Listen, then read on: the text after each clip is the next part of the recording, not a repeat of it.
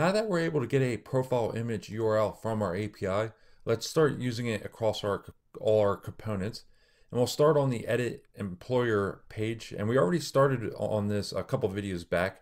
We got the component created. And now we'll set it up where the user be able to see the image that they're updating. And then when we're done with that, then we're going to set up the image within the uh, header up here. And that is uh, the second one right here. So we'll make some changes within the header component. And when the user is logged in, they'll be able to see the image on the top right. Uh, we'll start on this one. And here, the auth controller, we're just going to make a real quick change in there. And if we go to Postman, and here I called it employer to return. But the thing is, is anyone could use this login API, not just the employer. Like the employees, the admins, they can all use this API. So I'm going to change this to user to return. That'd make a little bit more sense.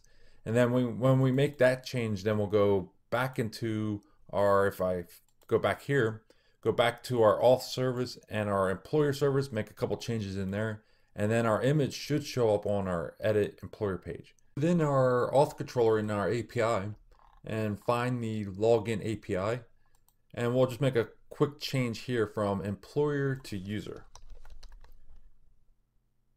And user. This will make a little bit more sense. Save this.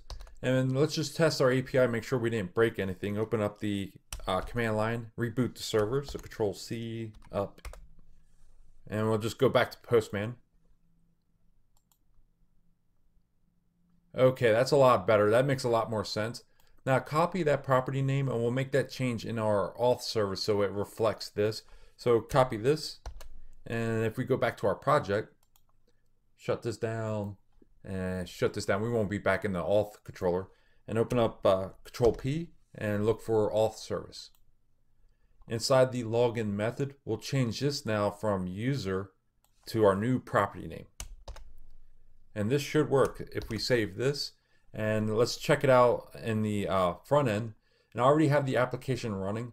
Now we're still we need we still need to log in to see the image, and we'll be fixing that pretty soon. If we go log out and log back in,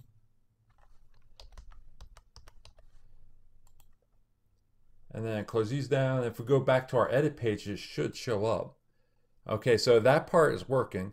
Now, when we update our image, if I click on this, I select a new image, hit update, it does change the image, but it doesn't swap this out.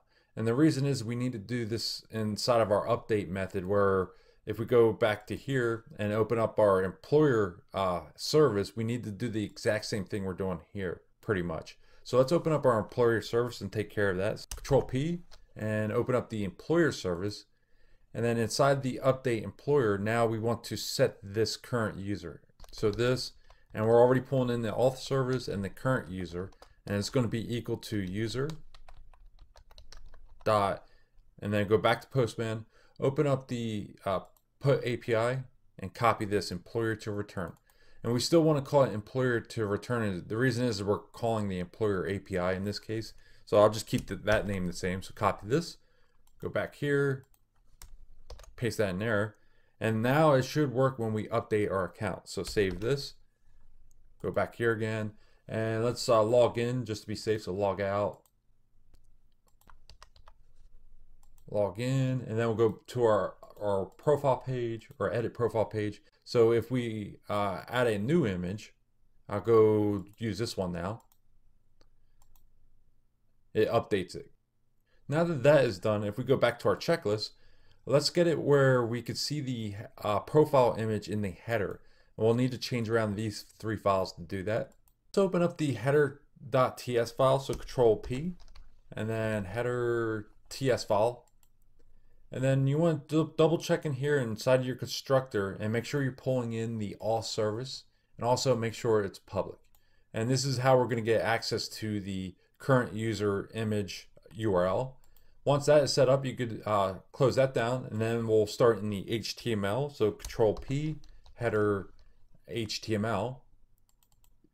And then inside here, we'll find a place to show the image and I'll do it within the LI right above the A tag actually. So let's create a span tag here. And then here's where we'll have our image. And then like we're doing here, we'll call our auth service get access to that current user. So auth service, current user, and then the profile image. And then I'll also add something here like profile image or something like that. And then I'll add a question mark here.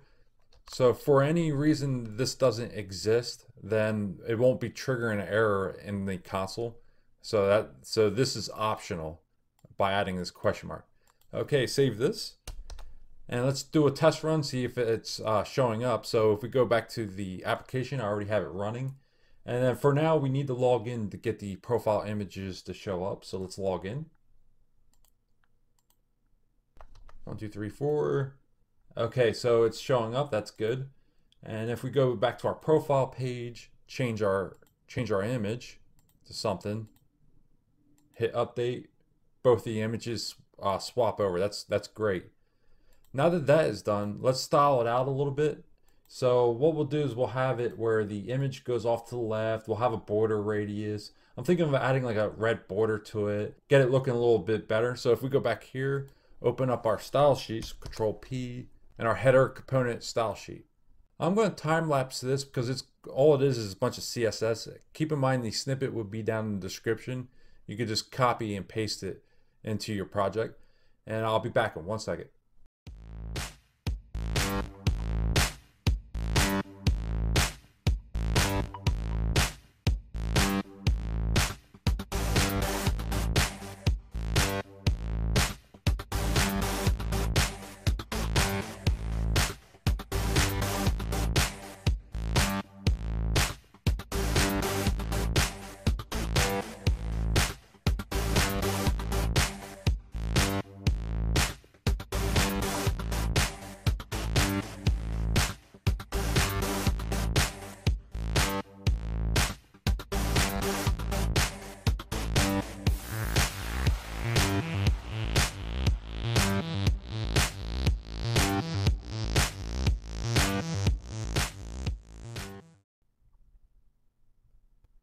That turned out great.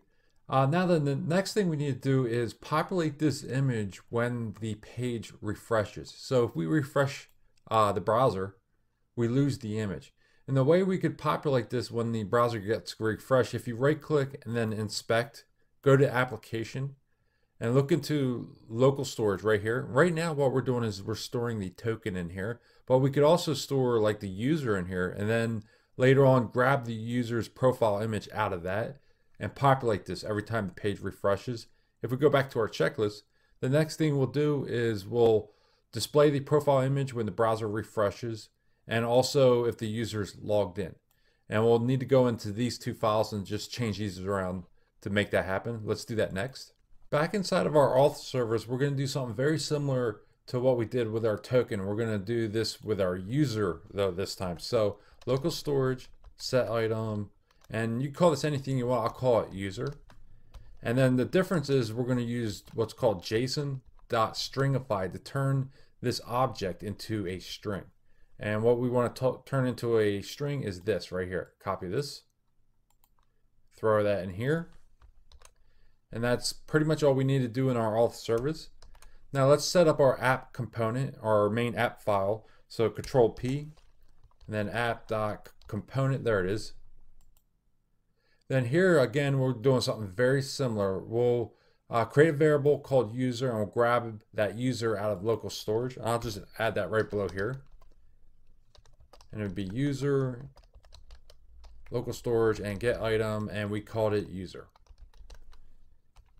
And then we'll use our interface and we'll set this to a type of user.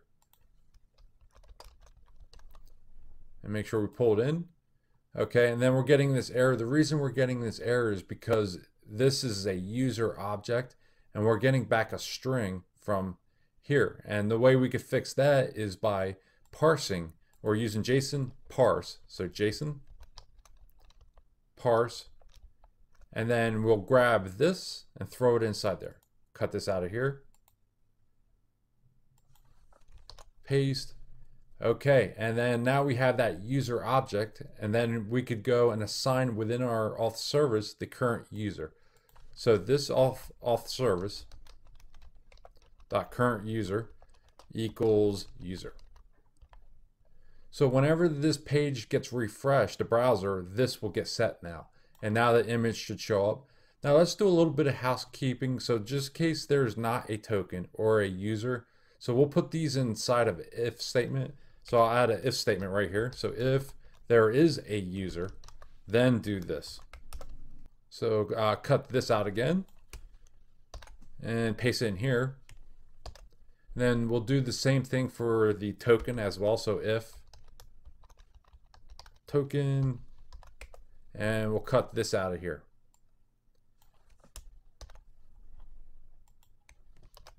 Okay, that looks a little uh, better.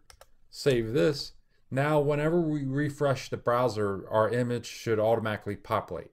If we go back to the front end again, and let's log in, for and log in. As you can see, the user shows up here, and that's good.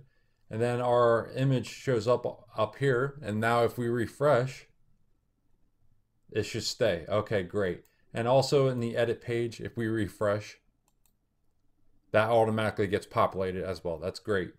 If we go back here, now the next thing we need to do is do a little housekeeping. So when the user logs out, we want to clear all that information out of here. We want to clear the token, clear the user, and also reset the current user within the service. And uh, we'll do that next.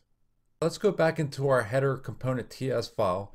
And here is our logout method. So when the user clicks on the logout button, we'll go and we'll clear out that user from our local storage.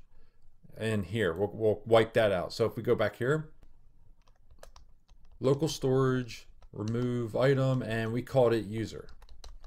Also, we'll go into our service and I should have left that open. I'll open it again. So auth service and we'll set these two back to null and clear them out. So a little bit of housekeeping. So we're already pulling in our auth service, this dot auth service, and then the current user will set to null. Then also this auth service decoded token is also equal to null. Save this. And let's see if we can log out now. If we go back to the browser, and here we still have all the information in here. And if we click on logout, it clears everything out. And also we could take care of this so we don't see this if there's no image. And also there will, they won't be able to view this page when they are not logged in. But let's go ahead and add an if statement here just in case. So if we go back to here, open up the employer component and we'll go inside of the HTML again. And then right inside of this div, we'll use a ng if and then just copy this. So if there's an image, then show that. And get rid of this. And also this. You don't need these in here. Okay. And that should get rid of that. So save this. And let's check it out one more time. Okay, so that is gone now. Let's log back in. Our image shows up. And then we close these down. Go back to the profile page. And it shows up. We actually really don't need to do that because they're not going to be able to view this page if they're logged out. But uh, I'll just add that anyways. Now that this is all done, in the next video we'll uh, stay on this page and we'll change this page around a little bit. We'll add a couple more fields like they'll be able to change their company name and also their email in the next video. So I'll see you then.